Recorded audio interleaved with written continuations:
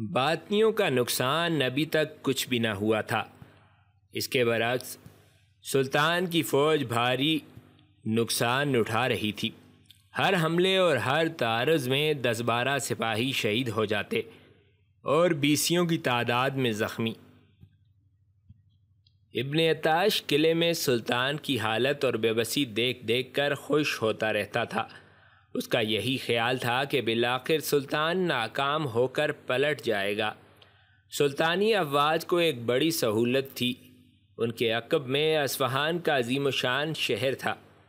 दिन भर शहर के लोग अपने काम काज छोड़कर बाहर निकल आते और सुल्तानी अफवाज की यलगार और पसपाइयों का मंज़र देखते रहते। हज़ारों की तादाद में औरतें और मर्द हर रोज़ इस अजीब जंग का नज़ारा देखने आते थे। सोलवा दिन गुज़रा, और कैफियत वही रही तो गरूब आफ्ताब से पहले सुल्तान ने अपने महकमा खुफिया के सरबरा लाइतस को बुला भेजा। लाइतस तीनों किलों के दरमियान दिन भर अपना घोड़ा दौड़ाता रहता। वो जंग में शरीक तो था, लेकिन उसकी ज़िम्मेदारियाँ मुख्तलिफ़ थीं। उसके ज़िम्मे किलों की अंदरूनी हालत मालूम करने का काम था। जो एक तरह से नामुमकिन दिखाई देता था। लेकिन फिर भी इन सोलह दिनों में लाइतस की कारकर्दगी सराहे जाने के काबिल थी। सुल्तान ने बलवाया तो तकरीबन निस घंटे बाद लाइतस सुल्तान मोहम्मद बिन मलिक शाह के खेमे में हाजिर था। सुल्तान ने मुस्कुराते हुए लाइतस का इस्तकबाल किया और फिर कहने लगा लाइतस अहमद, आज हमें इबन अताश का मुआसरा किए सोलवा दिन है। इस अरसा में हमारे 114 सिपाही शहीद हो चुके हैं। तीनों किलों पर हमलों के शहदा की मजमू तादाद 300 से ज़्यादा है और हज़ार के करीब ज़ख्मी हुए हैं। इस सूरत हाल से हम बहुत परेशान हैं। हम किसी कीमत पर यह जंग हारना नहीं चाहते, लेकिन अगर हम ज़्यादा अरसा यहाँ मसरूफ़ बेकार रहे तो हमें यकीन है कि रोम का ईसाई बादशाह कुस्तुनतीन अपनी रेशा दवानियों का सिलसिला फिर से शुरू कर देगा। तुम जानते हो कि सल्तनत के इन हालात में हम ईसाइयों का हमला बर्दाश्त करने के अहल नहीं। मैं चाहता हूँ कि तुम अपनी खसूसी सलाहितों को इस्तेमाल करके किसी तरह इबन अताश के किले में दाखिल होकर हमारी सिपाह के लिए किले का दरवाज़ा खोल दो। बेशक ये एक बेहद मुश्किल काम है। इसमें तुम्हारी जान जाने के निन्यानवे फ़ीसद इम्कान हैं। लेकिन फिर भी मैं तुमसे एक सुल्तान बनकर नहीं, बल्कि एक आजिज़ मुसलमान बनकर ये दरख्वास्त करूँगा कि तुम ऐसा ही कोई तरीका इख्तियार करके इस जंग को मज़ीद तूल देने से बचाओ। सुल्तान का लहजा और बात करने का अंदाज़ कुछ ऐसा था कि लायतस बिला वजह पानी पानी हो गया। उसे सुल्तान के अंदाज गुफ्तगु से नदामत सी महसूस हुई और उसने एक आज़म मुसम के साथ सुल्तान को जवाब दिया, सुल्तान मौज़म आपका हुक्म बजा लाना खादम पर वाजिब है। आप दरख्वास्त न करें, मुझे हुक्म दें। मैं गुज़श्ता दो तीन दिन से यही सोच रहा था हती कि मैंने दिल ही दिल में आज रात किला दैको में दाखिल होने का फ़ैसला किया था। दरअसल, किला दैको का वो रास्ता जहाँ से मैं फ़रार हुआ था, पूरी तरह मेरा देखा बाला है। मैं आज रात ही किला दैको में दाखिल होने का इरादा रखता हूँ। सुल्तान के चेहरे पर हैरत और ख़ुशी के मिले जुले जज्बात दिखाई दिए। उसने पुरमसरत लहजे में कहा, मरहबा, हमें तुमसे यही उम्मीद थी। लेकिन एक बात का ध्यान रहे। किले की फसील पर मौजूद बातनी सिपाही एक लम्हे के लिए भी गाफिल नहीं होते। तुम जो भी इकदाम करना, ये सोच कर करना कि तुम एक लश्कर से लड़ने जा रहे हो। लेकिन इम्कान ख़ुद को महफूज रखना। तुम सल्तनत सलजूकी का सबसे कीमती मोती हो। सुल्तान के मुँह से अपने लिए ऐसे तारीफ़ी कलमात सुनकर लाइदस ने इनका साराना मुस्कुराहट के साथ कहा, सुल्तान मुज़म के अल्फाज इस खादम के लिए दुनिया की सबसे कीमती मता हैं। सुल्तान मुज़म मुतमिन रहें, मैं इन कामयाब लौटूँगा।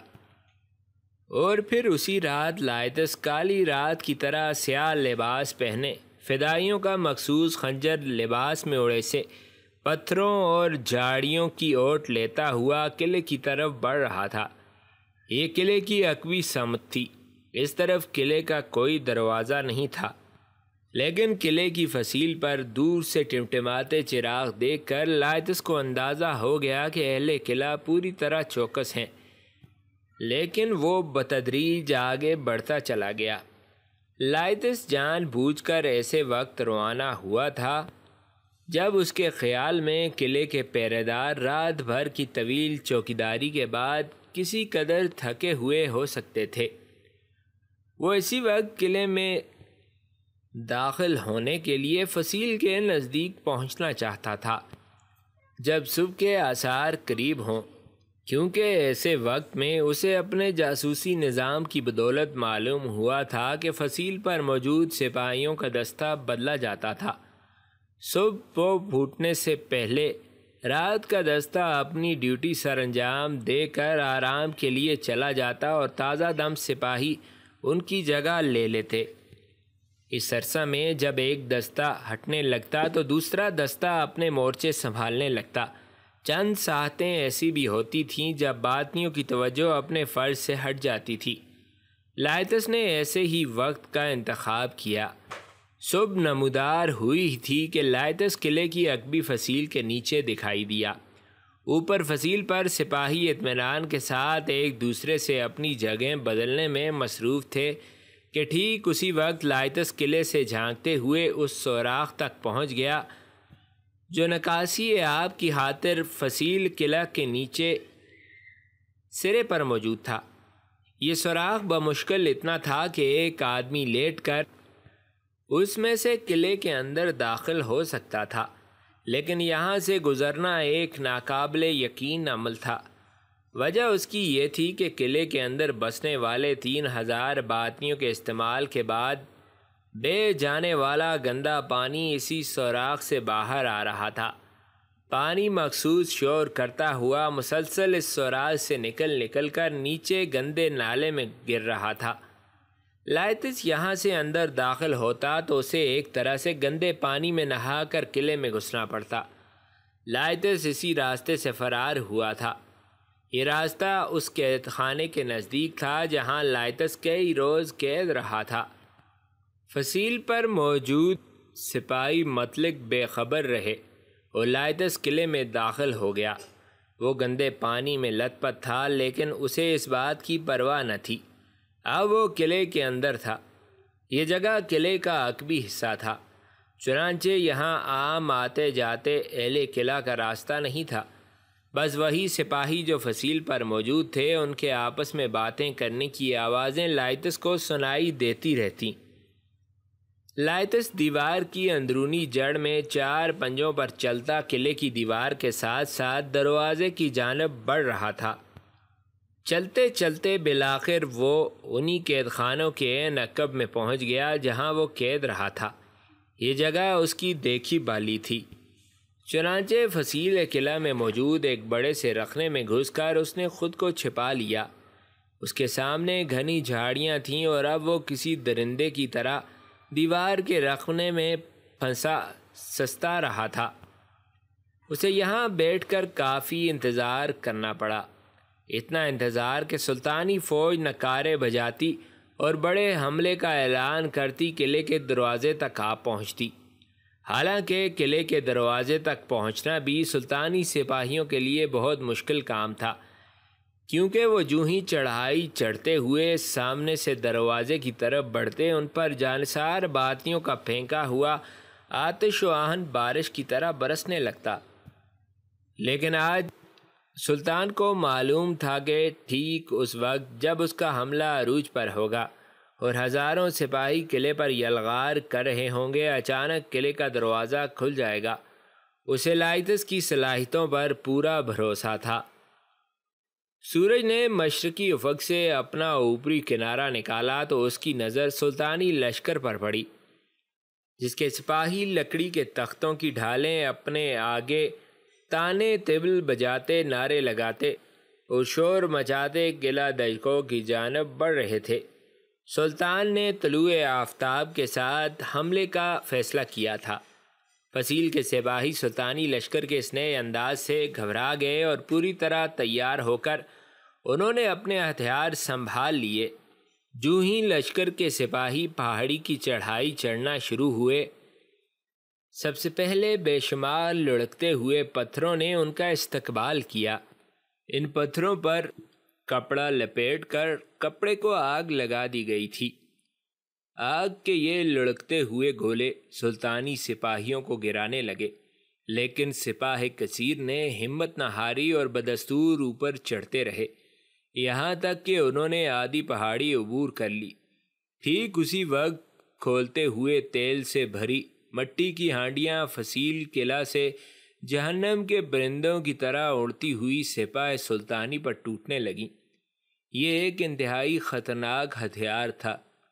मट्टी की हांडी किसी सिपाही के सर पर टूटती या किसी पत्थर पर, लेकिन हर दो सूरतों में उसके फटते ही गरम खोलता हुआ तेल दूर दूर तक फिजा में उछलता, जिससे सुल्तानी सिपाहियों के हाथ मुँह जलने लगते। करीब था कि सुल्तानी सिपाही पसपा हो जाते कि अचानक उन्हें नकारची की आवाज़ सुनाई दी। वो सदा लगा रहा था। सिपाहियों, हिम्मत न छोड़ो। सुल्तान मुज़म बजात खुद पहाड़ी पर चढ़कर आ रहे हैं। सलजूकी सिपाहियों ने सुल्तान मुहज़म की हिम्मत का सुना तो एक मरतबा फिर आगे बढ़ने का इरादा किया। खोलते हुए तेल की हांडियाँ टूटती रहीं और सुल्तानी सिपाही शहीद होते रहे। यहाँ तक के बीस पच्चीस सुल्तानी सिपाही किले के दरवाजे तक आ पहुँचे। अब इन सिपाहियों पर जलते हुए तीर बरसाए जाने लगे। बीस पच्चीस सिपाहियों को निशाना बनाने के लिए हज़ारों तीर फसील से यूँ निकले, जैसे परिंदों का गोल फिजा पर छा गया हो। सिपाही फ़ौरन ज़मीन पर लेट गए और रींगते हुए आगे बढ़ने लगे। लेकिन फिर भी बहुत से सिपाहियों के बदन जलते हुए तीरों से झुलस चुके थे। इन सिपाहियों में चंद शहीद हो गए, लेकिन ज़िंदा बच जाने वाले ज़ख्मी सिपाही अब सचमुच हिम्मत हार चुके थे। करीब था कि वो वापस लौटने लगते कि पीछे से कमक आ पहुँची। ठीक उसी लम्हे सुल्तानी सिपाही ये देखकर हक्का भक्का रह गए कि किले का दरवाज़ा खुल चुका था। उन्होंने यही समझा कि अब दुश्मन दस बदस्त लड़ने की गर्ज से दरवाज़ा खोलकर बाहर निकलना चाहता है। कि बातनियों की सरशत में ही खुलकर जंग करना शामिल न था। वो कहाँ निकलते? ये दरवाज़ा तो लाइतस ने खोला था। लाइतस किसी न किसी तरह से जब किले के दरवाजे में आ पहुँचा तो दरवाजे के पहरे पर मुतन सिपाहियों ने उसे रोकना चाहा। लेकिन उसने मखसूस निशानियाँ दिखाकर खुद को फिदाई ज़ाहिर किया और हुक्म दिया कि इसे बाहर जाने दिया जाए। सब सिपाही हैरान रह गए कि बाहर जंग जोरों पर थी और ये फिदाई बाहर जाने की बात कर रहा था। लायतस ने उन्हें देर करते देखा तो इंतहाई गुस्से से बोला, मैं फिदाई हूँ, मुझे मर जाने की तरबियत दी गई है। तुमने सुना नहीं, उनका सुल्तान खुद पहाड़ी के ऊपर चढ़कर आ पहुँचा है। मुझे यही हुक्म मिला है कि मैं इस वक्त सुल्तान का खात्मा कर दूँ। एक फिदाई की अहमियत सब जानते थे। चुनाचे गू मगू का शिकार होने के बावजूद उन्होंने तोहन करहन फिदाई के कहने पर किले का दरवाज़ा खोल दिया। लेकिन उन्होंने एक पट ही खोला था कि लायतस ने अपने अंदरूनी लिबास में छिपी शमशीर खींची और किले के पहरेदारों पर बाकायदा हमला कर दिया। वो तादाद में ज़्यादा थे, और लायतस को अच्छा शमशीर जन न था। बहुत मुमकिन था कि वो लायतस का खात्मा कर देते कि ठीक उसी लम्हे दरवाजे में अचानक सुल्तानी सिपाही दिखाई दिए। अगले लम्हे लायतस महफूज था। किला दज को फतह कर लिया गया।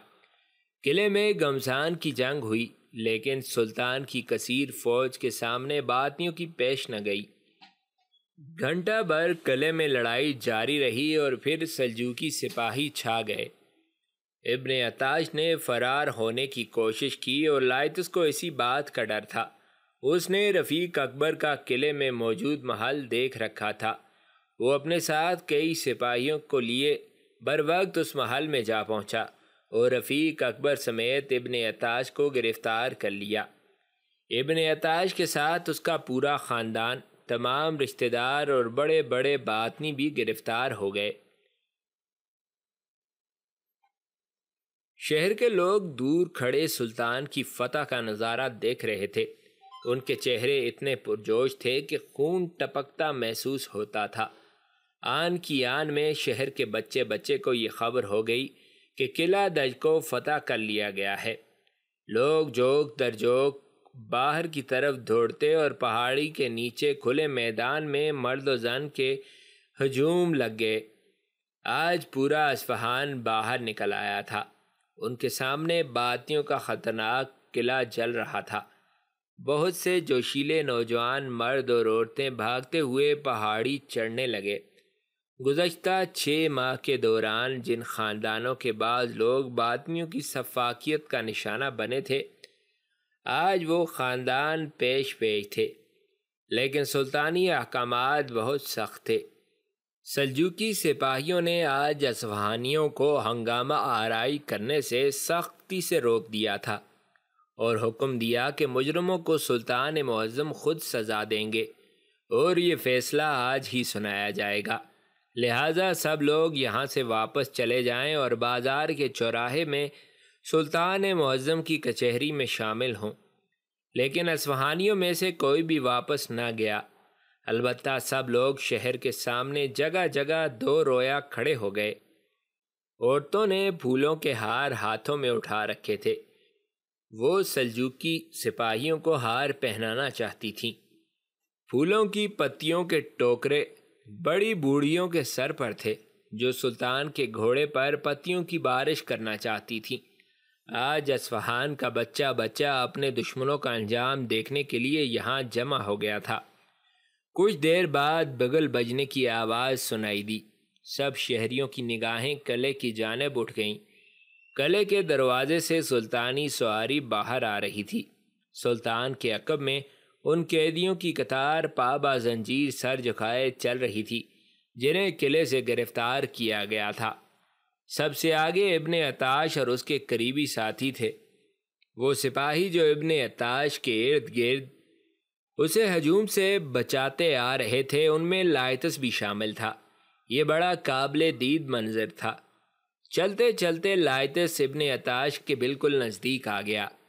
इब्ने अताश ने सर घुमा कर देखा तो लायतस को देखते ही वो खून के घूंट पी कर रह गया। लायतस ने मुस्कुराते हुए उससे कहा, इबन अताश, कभी इस अंजाम के बारे में सोचा था तुमने? लेकिन इब्ने अताश ने कोई जवाब न दिया। अब अहले असफहान खुशी से नाच रहे थे। सलजूकी सिपाही फ़ख्र से सीना ताने आगे आगे चल रहे थे। असफहानी शहरी सड़कों पर दो रोया कतारें बनाए सुल्तानी फ़ौज के रास्ते में मौजूद थे। बूढ़ी औरतें फूल फेंक रही थीं और जोशीले मर्द रक्स कर रहे थे। आज उनके शहर से बलाओं का साया टल गया था।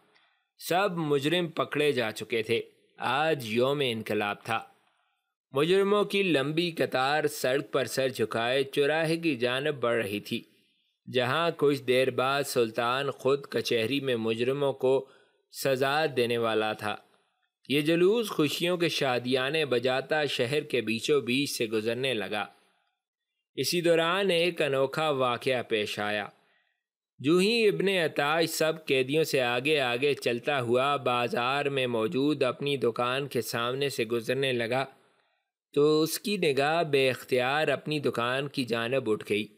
उसी लम्हे एक खस्ता हाल नौजवान अवाम की भीड़ में से निकला और किसी पागल दीवाने के से अंदाज में दौड़ता हुआ अपने अताश पर हमला आवर हो गया।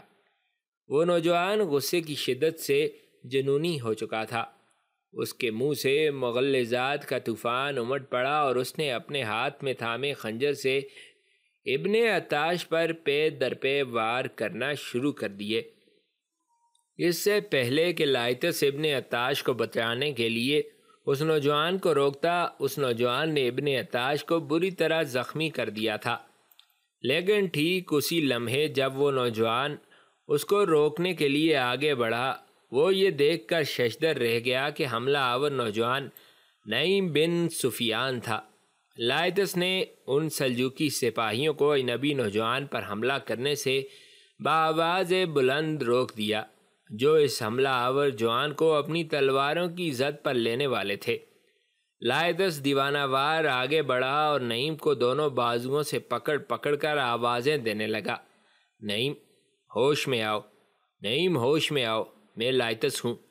लेकिन नईम उसके काबू में ना आ रहा था। जब लायतस के कहने पर सिपाहियों ने नईम को दोनों हाथों से मजबूती के साथ थाम लिया तो ठीक उस वक्त नईम गला फाड़ फाड़ कर और चीख चीख कर कुछ कहने लगा। सुल्तानी सवारी रुक गई और सुल्तान मोहम्मद बिन मलिक शाह ने अपनी पेशानी पर शिकने डालकर पीछे मुड़ते हुए देखा। नईम एक ही बात बार बार कह रहा था। मैं इसे नहीं छोड़ूँगा। इसने मेरी सादिया को मार दिया है। मैं बातियों को नहीं छोड़ूँगा। उन्होंने मेरी सादिया को मार दिया। मैं किसी को नहीं छोड़ूँगा। मुझे छोड़ दो। मैं इसकी जान लेकर रहूँगा। तुम मुझे छोड़ते नहीं तो मुझे मार दो। मैं अपनी सादिया के बगैर ज़िंदा नहीं रहना चाहता। शहर के बड़े चौराहे में सुल्तान मोहम्मद ने खुली कचहरी लगाई और तमाम मुजरमों को सजाए मौत सुना दी। सुल्तान का फैसला सुनते ही एहलियान शहर झूम उठे और बाआवाज़ बुलंद नारे लगाने लगे। सुल्तान मौज़म जिंदाबाद, आल सलजूक जिंदाबाद। कुछ देर बाद इबन अताज समेत तमाम मुजरमों की लाशें सरे बाज़ार लटक रही थीं और शहरी उनके सामने शोर मचाते, नारे लगाते और रक्स करते अपनी आज़ादी का जश्न मना रहे थे। उसी रात मशहूर मौरख रावंदी ने ये अल्फाज लिखे। सुल्तान मोहम्मद ने दजकों पर हमला किया और तमाम बादमियों को असीर करके, जिनमें अहमद बिन अताश भी था, बाजारों में फिराया और बिल आखिर उनका कत्लेआम करवा दिया। नादरा की मुंतजर आँखें दरवाजे पर जमी थीं। वो अपनी खूबसूरत ख्वाबगाह में बिस्तर पर लेटी हर आहट को बड़े गौर से सुन रही थी। उसे खबरें मिल चुकी थीं। शहर में होने वाले हंगामे की आवाज़ें भी वो काफ़ी देर से सुन रही थी। उसकी ख़ास खादमाएँ ज़रा ज़रा सी खबर उसके लिए ला रही थीं। बार बार उसके पास दौड़ी चली आती थीं और उसे बताती, कि अब वो हो रहा है, अब ये हो रहा है। मगर वो तो सिर्फ़ एक ही खबर की मुंतज़र थी और वो ये कि उसकी खादमा दौड़ती हुई आए और उससे कहे, कि अब तुम्हारा लायतस आ रहा है। आज उसे होश में आए हुए बारहवां दिन था। इस दौरान लायतस उससे बार बार मिल चुका था। लेकिन अभी तक लायतस ने शमामा और अपनी शादी के बारे में उसे कुछ न बताया था। लायतस उसे इस हालत में कोई ऐसी खबर न सुनाना चाहता था, जिससे उसकी बहाल होती हुई सेहत यकदम ख़राब हो जाए। वो अभी बेहद कमज़ोर थी। अपने पैरों पर चलकर कहीं आ जा न सकती थी। उसके ज़ख्म अभी ताज़ा थे, लेकिन वो अब पूरी तरह ख़तरे से बाहर थी। हकीम असफहान दिन में दो बार सुबह शाम उसकी हवेली में आते और अपने हाथों से उसका इलाज करते। लायतस ने उसे मुकद्दस मन का मिलने की कहानी भी तफसील से न सुनाई थी। सिर्फ़ यही बताया था कि मन का मिल चुका है। और अब वो आज़ाद है। वो बेहद खुश थी। उसे यूँ लगता था जैसे उसके सारे दुख, सारे गम, सारी परेशानियाँ, सारे दिल दर्द दूर हो गए हों। लेकिन उसे एक ख्याल था, अपने भाई का ख्याल। वो चाहती थी कि लायतस के साथ शादी के बंधन में बनने से पहले उसका भाई पहुँचाए। शायद खुदा ने उसकी सुन ली थी। उसकी निगाहें दरवाजे पर जमी थीं और वो करवट के बल लेटी थी। उसका हसीन चेहरा अभी हल्दी की तरह जर्द था। उसने बड़े कारी जख्म खाए थे, लेकिन लायतस के मिल जाने के बाद उसे यूँ लगा जैसे उसके सारे जख्म भर गए हों, और फिर उसे एक खादमा दौड़ती हुई अपनी तरफ़ आती दिखाई दी। मालकिन मालकिन, वो आ रहे हैं। वो लायतस अहमद नादरा तो जैसे पागल हो गई। आज रोज़ इनकलाब था। वो पहले ही शिद्दत जज्बात से बेकाबू थी और लायतस के आने की खबर ने उसकी हालत गैर कर दी। उसका दिल ज़ोर ज़ोर से धड़कने लगा और उसकी पलकों ने झपकना छोड़ दिया। कुछ देर बाद उसे भारी कदमों की आवाज़ सुनाई दी, जैसे बहुत से मर्द चल रहे हों। तो उसके माथे पर बल पड़ गए। उसने सोचा लायतस शायद फतह की मुबारकबाद देने के लिए चंद लोगों के साथ आ रहा है। लायतस वाकई चंद लोगों के साथ आ रहा था। जो ही लायतस दरवाजे के सामने आया तो नादरा की आँखों में गुलाब के फूल खिल उठे। लेकिन अगले लम्हे ही लायतस के पहलू में चलते हुए अपने भाई नहीम को आते देखकर तो उसे गोया चक्कर आ गया। कमज़ोरी के बायस उसका दिमाग चकराने लगा। क्या वो सचमुच नईम था? नादरा को नईम की हालत बहुत खस्ता दिखाई दी। वो तड़प कर उठी। और उठकर बैठना चाहा। लेकिन उसी वक्त उसके पेट के ज़ख्म का टांका फट गया। एक बुलंद करा के साथ वो दोबारा लेट गई। लायदस और नईम दौड़ते हुए उसके पास पहुँचे और नईम आगे बढ़कर अपनी आपी के सीने से जा लगा। नादरा रो रही थी। हकीम असवहान फौरी तौर पर आ गए और आगे बढ़े और सबसे मुखातब होकर बोले, नादरा बेटी के लिए रोना बिल्कुल ठीक नहीं। इनके ज़ख्मों से अभी तक खून और मवाद रिस रहा है। आप सब लोग बाहर जाएँ। नादरा की हालत वाकई ठीक नहीं थी। चुनाचे नईम फ़ौरन नादरा से अलग हो गया और अपनी आपी के रुखसारों पर थपथपाते हुए कहा, आपी, मैं बिल्कुल ठीक हूँ। जहनी तौर पर भी ठीक हूँ। तुम परेशान मत होना। तुम अब जल्दी से अच्छी हो जाओ। अब मैं तुम्हें कोई तकलीफ़ नहीं होने दूँगा। नादरा मुस्करा रही थी। उसके चेहरे पर आंसुओं की लकीरें थीं, लेकिन वो अपने भाई को देखकर मुस्कुरा रही थी। नादरा ने इसी तरह मुस्कुराते हुए कहा, नईम, शुक्र है तुम आ गए। मेरी सारी दुआएँ पूरी हो गईं।